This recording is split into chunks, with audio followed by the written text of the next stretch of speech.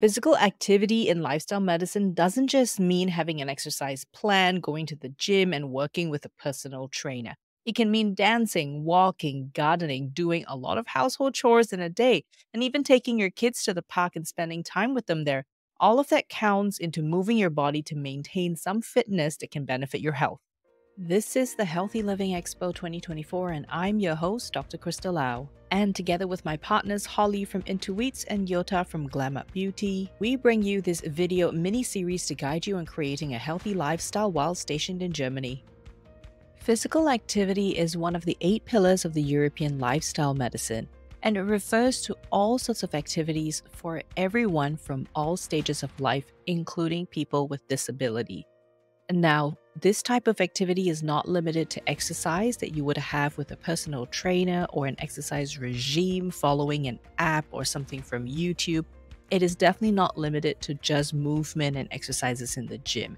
Anything and everything that you do that engages your movement, breaks a little bit of a sweat, getting you out and about, everything counts as a physical activity.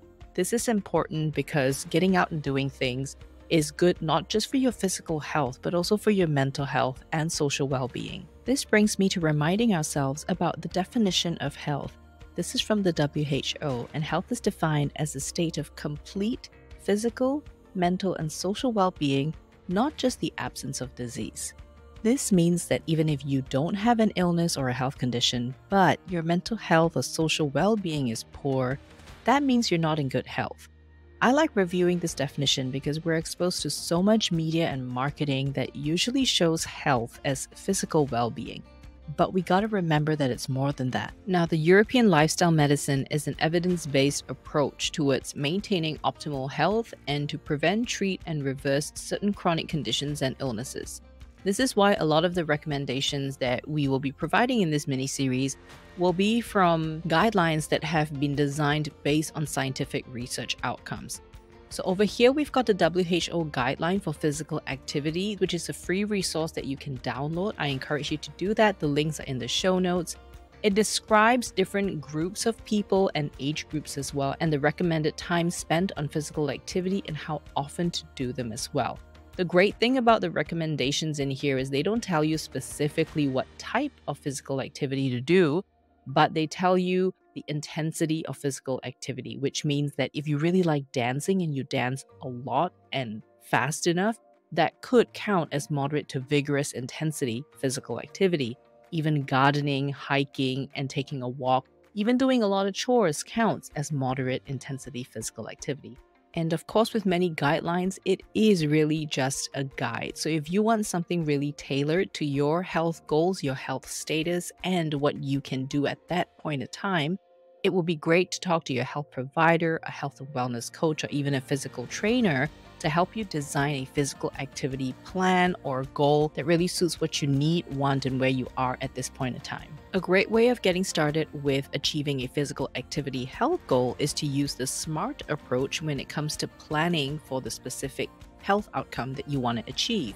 The SMART approach is very common in the business world when they want to set business goals, but is great for health as well because you start off with being very specific as to what physical activity goal you want to achieve. And then you identify the measurables that you can count so that it helps you keep things on track.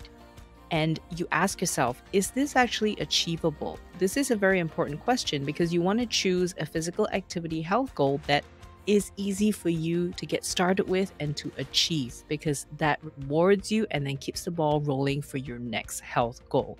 Ensure that your health goal is also relevant because it has to be important to you. Otherwise, it's very difficult to self motivate to continue and achieve that goal. And finally, it's got to be time bound.